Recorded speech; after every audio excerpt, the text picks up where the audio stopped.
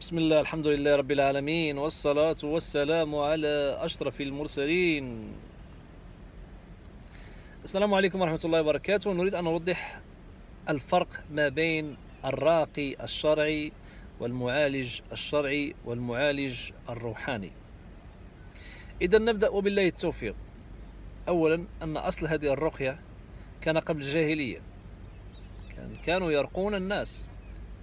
لكن عندما أتى النبي صلى الله عليه وسلم أراد أن يتأكد لمن يريد أن يعمل هذه الرقية هل فيها شرك أم لا؟ قول المشهور النبي صلى الله عليه وسلم لا بأس بالرقى ما لم تكن شركا. أو كما قال النبي صلى الله عليه وسلم لا بأس بالرقى ما لم يكون فيه يكون فيها شرك. أو كما أو كما قال النبي صلى الله عليه وسلم. إذا وهناك رقية الحية فعند النبي صلى الله عليه وسلم رقية الحية ورقية النملة. هذه رقية تعني أن ترقي نفسك أو ترقي غيرك. ترقي نفسك بالدعاء وبآيات من كتاب الله أو بأوردة أو أدعية مأثورة واردة عن النبي صلى الله عليه وسلم. هذا هو الراقي الشرعي الذي يرقي بالقرآن والسنة بالقرآن والأدعية المأثورة. طيب الراقي النفس الراقي الشرعي قد يرقي نفسه أو قد يرقي غيره. إذا المعالج الشرعي. المعالج الشرعي هو المعالج الذي يفوق الراقي الشرعي علما وعملا. بمعنى أن هذا المعالج الشرعي قد يكون تخصصه العلاج الشرعي.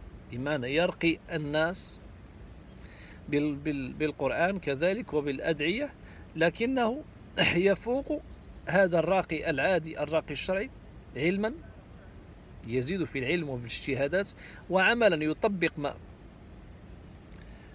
ما يتعلمه يطبق ما ما يجده ما يبحث فيه.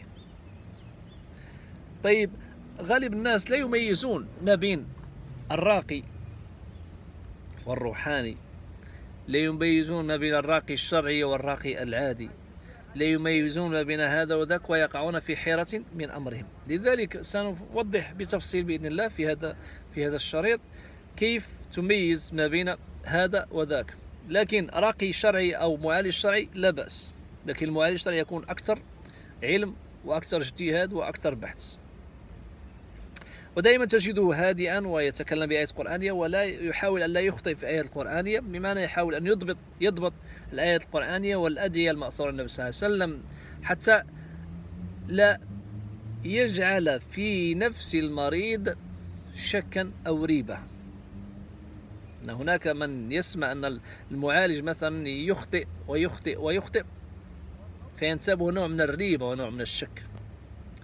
إذا الأمر واضح بالنسبة للراقي والمعالج الشرعي الشرعيين. طيب المعالج الروحاني. المعالج الروحاني سنصنفهما إلى نوعان.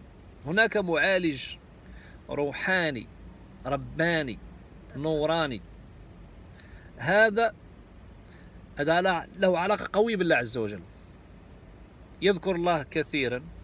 تجد تجده دائما صائما قائما. آه، علاقته بالله عز وجل طيبة هادئ يتكلم برزانة وبروية وبمنطق. يعلم الناس الخير. آه، يجري في الخير. يبتعد دائما عن الشبهات. لكن الله سبحانه وتعالى أعطاه جند. فلماذا نحسده؟ أعطاه الله جند نعم جند. لكثرة ذكره ولكثرة قرب من الله عز وجل وهو يسأل الله سبحانه وتعالى أن يجعله سببا للخير سببا لعلاج هؤلاء الناس المرضى الذين وقعوا ضحايا لشياطين الإنس والجن. فهذا لا بأس به وهذا فيه خير. وأنا أقول أنا أقول أمثال الراقي الروحاني الراقي آه، طارق غلماس. يعني زرته وجلست معه إنسان طيب ما شاء الله ويرقي الناس وهو صائم يعمل خير في وجهه نور أشياء سبحان الله ما رأيتها في في رقي آخر. أنا أقول من باب الأمانة ليس من باب النفاق من باب الأمانة. طيب الراقي ننتقل للراقي الروحاني الذي يستعين بالشياطين. لا أقول الشيطان لكن الذي يستعين بالشياطين. الذي يدعي دائما أنه يعتمد على الطريقة الجلجلوتية أو الطريقة البرهتية أو غيرها من الطرق. وتجده دائما يستعين بطلاسم وأوفاق وخواتيم يدعي أنها سليمانية وهي ليست كذلك. ويتوكل على جان وتراه يحدث تمتمات بمعنى يتكلم فقط بشفتيه ولا تعلم ما يقول. آه، يستعين بشياطين بملوك الجان ويدعي أن هذه الأسماء أسماء ملوك الجان. طيب وهذه أما الناس الذين يقول أن هذا لكل آية خدام فالله أعلم فالله أعلم هذا الموضوع لن نخوض فيه لأننا سمعنا من أناس ربانيين أنه فعلا لكل آية ولكل اسم من أسماء الله الحسنى خدام مؤمنين يعينون صاحب المعالج الذي في قلبه خير ويريد أن يجري فيه الخير. والله أعلم هذا المجال لا نريد أن نخوض فيه. طيب ما يهمنا الآن؟ هو أن نعلم الناس أن الراقي الشرعي والراقي. والمعالج الراقي لا خوف عليهم يذهبوا عندهم بقلب سليم. أما الراقي الروحاني أو المعالج الروحاني فهو معروف. أول شيء يسألك عن اسمك واسم أمك وصورتك. آه، يسألك أن تفعل أشياء آه، لا يميز ما بين عن المرأة بمحرم أو المرأة بغير محرم. جلهم جلهم تقريبا جلهم جلهم. تجده دائما عندما يضع شرائط أو فيديوهات على اليوتيوب مثلا لا ترى وجهه. لا ترى وجهه فقط صوته. وتراه يسب أصحاب اللحى ويسب أصحاب الدين ويسب الرقاة الشرعيين ويقذف هذا وذاك ويدعي أن له علم ومنافع. أنا لي قصة مع راقي مع معالج روحاني وتبين لي كنت أعتقد أنه فعلا يتبع القرآن والسنة لكن تبين لي في تبين لي فعلا أنه سحار أنه ساحر ويعتمد على الشياطين. والحمد لله الحمد لله سبحانه وتبين لنا حقيقته والحمد لله وقطعنا علاقتنا به.